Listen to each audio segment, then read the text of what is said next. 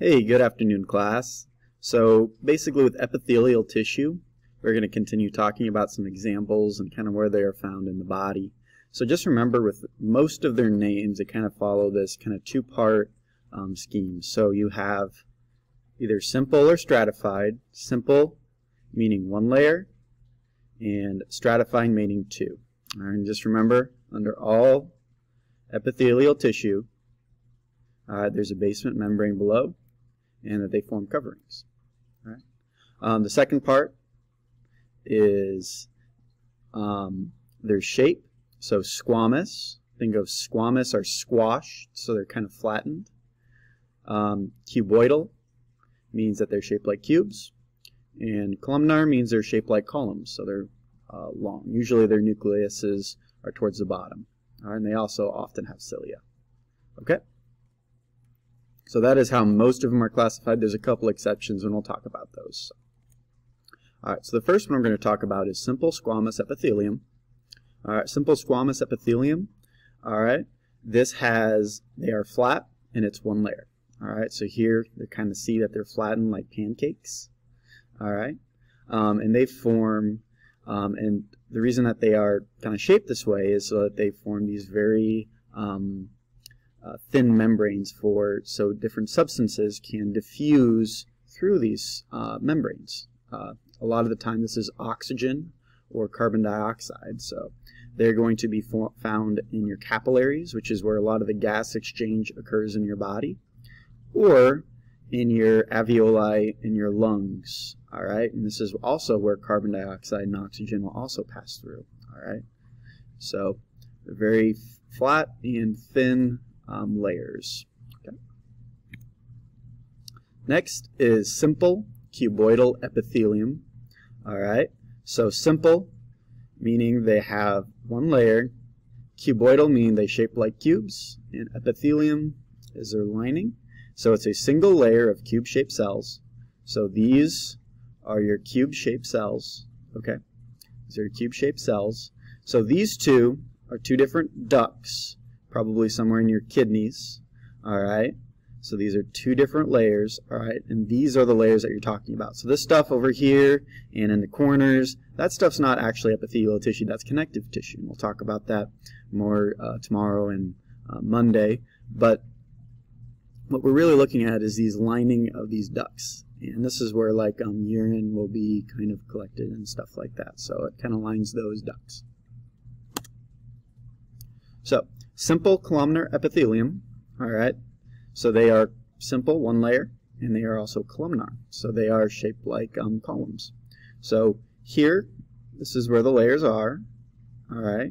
See how they're a lot longer, and all their nuclei are kind of towards the bottom. They're closer to that basement membrane. And just remember that this stuff in the middle, this stuff is also connective tissue as well. We're really just looking at these darker pink cells. All right, those are the the epithelium, the simple columnar epithelium. And they line the uterus and most of the organs in the digestive tract. And um, I'm not sure if you're able to see it here, but there might be some cilia on a lot of these things as well. And we'll talk about cilia. Pseudostratified uh, columnar epithelium. This is um, one of the kind of the exceptions that we're talking about. So pseudo, uh, if you know what pseudo means, it means false. So this is falsely stratified columnar epithelium. So what happens is is that these nu their nucleuses are kind of at different points in the cells so that it kind of gives them the appearance that they are stratified, but they are actually just one layer. All right, so that's where they are falsely stratified. So they that's where they get their name. So here you can looks like it almost looks like there's like four layers or something, but it's actually just really just one layer. So um, these line the passages of the respiratory system, and a lot of times there's also some goblet cells, and which we'll talk about, that are kind of interspersed in these things. But here you can actually really see the cilia. Uh, you can really see this little like pink membrane on top. Those are cilia. There's a little hair-like projection, so you can really see that really well in this picture. This is where the tissue goes from about here to here.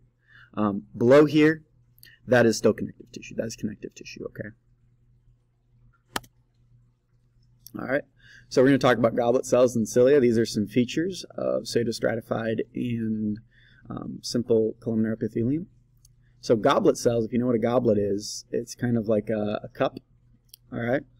So think of them as maybe getting getting rid of liquid. So they secrete liquid called mucus, a protective fluid, onto tissue. All right, and that's what all these little purple things are, is that they are secreting this mucus onto these membranes. This acts as like a lubricant so that things don't get caught um, and kind of move uh, down the system. Um, it also helps protect the cells itself. They also help protect the cells itself. Okay, so you're going to find this like you're in your in your uh, nasal cavity, in your large intestines. So you're going to find it in a lot of different places in your body. We're also going to talk about cilia. Cilia are these little hair-like projections that come on top of a lot of the simple columnar and squamostratified columnar epithelial cells. All right.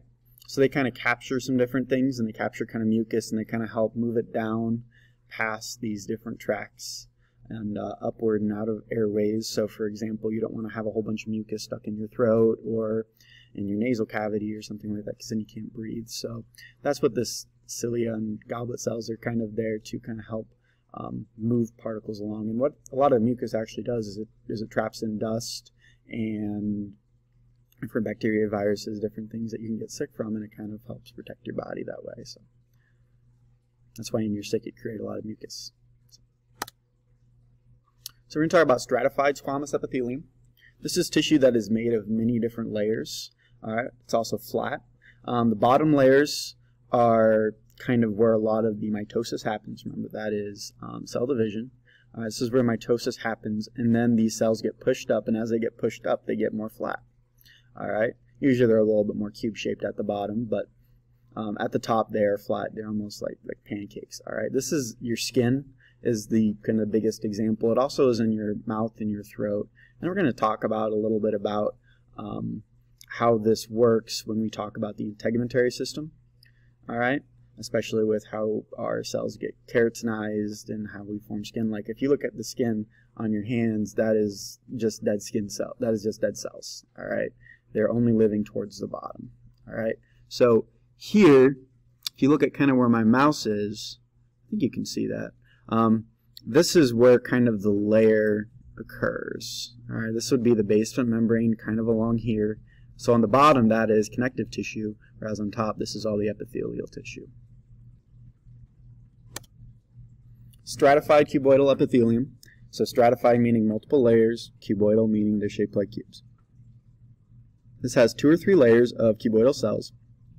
And we're looking at this layer, kind of where my mouse is covering over. All right. And these are just multiple um, cuboidal shaped cells that kind of um, uh, line different types of ducts like sweat glands and mammary glands and uh, your, your earwax glands as well as your lumen. All right. So all this other like lighter pink stuff, all right, all this lighter pink stuff is kind of in the back. That is all connective tissue still. Just remember, we're just looking at the lining. We're just looking at the lining of the epithelium. All right, that's what we're really looking at. All right. Stratified columnar epithelium. This consists of a couple different layers, usually about two, maybe three layers of cells, in which the top ones are more columnar. All right, so they're long, elongated. Actually in the, in the bottom ones are more cuboidal, but um, there are columnar cells, so they are called stratified columnar epithelium. All right, they're in the male urethra and in parts of the pharynx. So the pharynx, that's kind of in the back of your throat. And this is probably where your basement membrane is going to be, right about there. Uh, everything else below here is more of connective tissue. This is up here, it's your epithelial, your stratified columnar epithelium. This is another one of the exceptions. This is transitional epithelium. All right, so transitional epithelium is is it kind of goes from being um, squamous to being cuboidal, depending on how much pressure is, is on it. Okay, so for example, this is a lot of the time this is found in your bladder, in ureters, your urethra, and basically a lot of things that like just contain urine. So what happens is, is that if there's a lot of liquid in that area, like in your bladder, for example, the the tissues are going to be flattened. All right, they're going to be flattened up against the walls because there's a lot of force and a lot of liquid that is kind of uh, making them flat. Whereas if there's very little liquid or nothing at all, it's actually going to kind of bounce back. It's kind of like a sponge, all right? So you know, let me find a sponge real quick.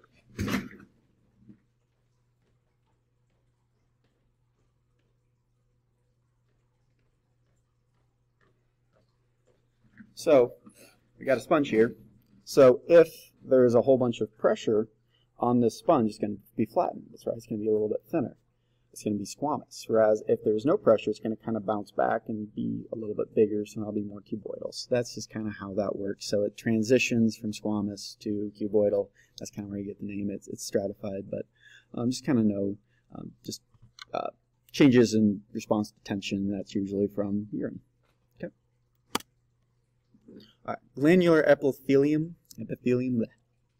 these are composed of cells that are specialized to produce and secrete substances into ducts or into body fluids. These are called glands. So this is your sweat glands.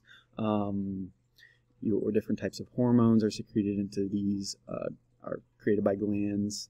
Um, a lot of the pancreatic juices or digestive juices in your body, like in your digestive tract, are actually secreted by like your pancreas or your liver, and those are also would be considered glands. So those these this is the type of tissue that creates different substances that are used in the body for a variety of different purposes. And we'll spend a whole lot more time when we kind of in the digestive system and the endocrine system and the integumentary system of the, the special types of glands that we're going to encounter.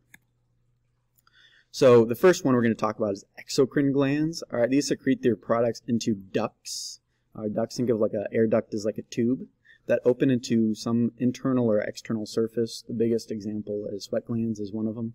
If you look at your skin, all right, this is a model of skin. These little white things are sweat glands. Um, these little, I think these little purple things are, remember right, are sebaceous glands. They kind of uh, secrete like some grease and oil onto your hairs to kind of keep them waterproof and pliable.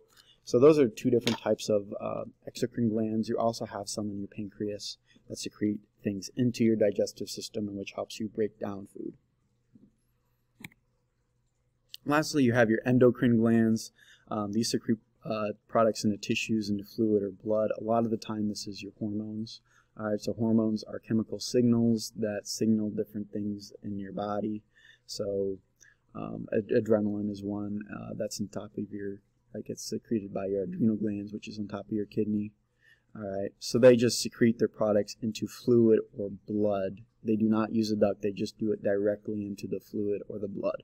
And we'll have a whole system where we talk about the endocrine glands and the endocrine system. And yeah. anyway, that is it. I hope you guys have a great rest of your day. Um, take care. Oh yeah, and we'll also have a lab over these, and we'll kind of look at them under the microscope. So it'll be another really, it'll be a really cool way. So that is it for epithelial tissues.